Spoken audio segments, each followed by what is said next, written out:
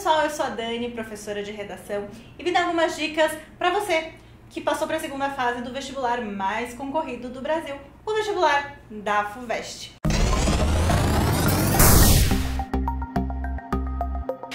A prova de redação da FUVEST, como vocês sabem, é temida principalmente pelos temas que ela propõe.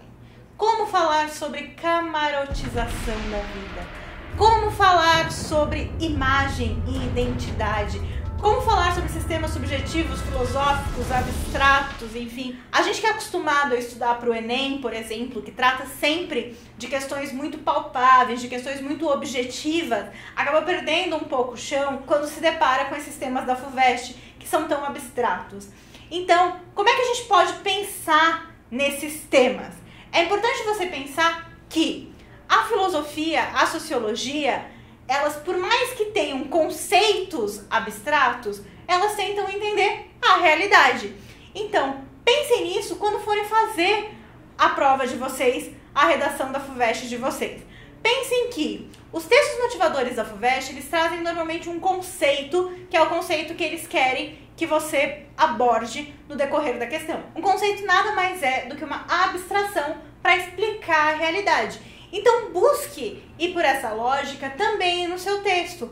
Mostre o quanto você consegue trabalhar com conceitos, seja o conceito que a própria temática nos traz, seja conceitos filosóficos, históricos que você vai trazer na sua argumentação. E como esses conceitos te fazem interpretar a realidade. Por que, é importante essa ideia de interpretação da realidade?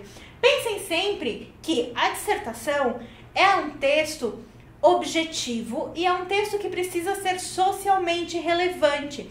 Então, qual que é o problema quando a gente trabalha com temas que tendem à subjetividade? Quando a gente pensa em subjetividade, a gente pensa em questões pessoais.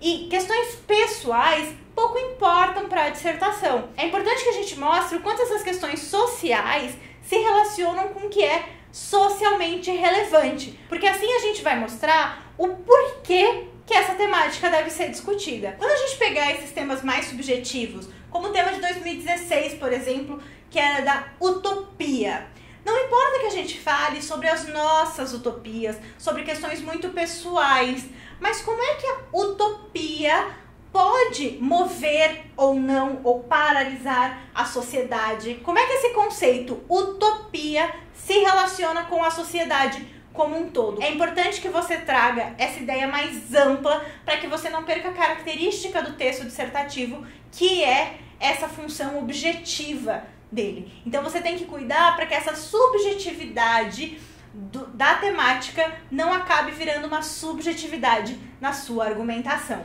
Então, para trabalhar com essas temáticas, mostre sempre como os conceitos que ela traz te ajudam a interpretar a realidade. Lembrem que a filosofia, a sociologia, o que a gente tanto lembra na prova da FUVEST, são, na verdade, ciências que buscam explicar e problematizar a realidade. Faça isso também na sua avaliação, que certamente vai ser um bom caminho para desenvolver o seu texto. Espero que você tenha gostado dessa dica. O material sobre essa aula está aqui embaixo na descrição do vídeo. Vai lá para complementar a aula, aproveita, curte o vídeo, se inscreve no canal e continua nos acompanhando. Até a próxima!